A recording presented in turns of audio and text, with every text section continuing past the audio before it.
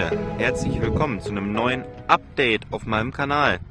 Heute aus dem Windpark Fürstenau. Ja, ich stehe jetzt hier beim allerersten Bögelturm und wie man sieht, der Großkran wird schon zusammengebaut. Also die machen hier jetzt richtig Tempo. Hammer. Also sind noch keine Teile da. Ich denke mal, die werden jetzt nächste Woche kommen.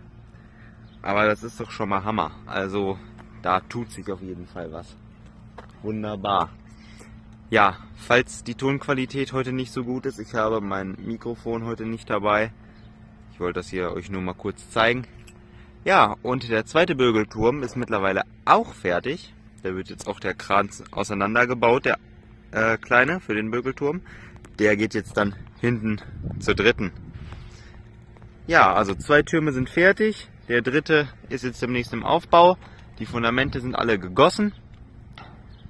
Also, jetzt geht's hier demnächst richtig rund. Hammer.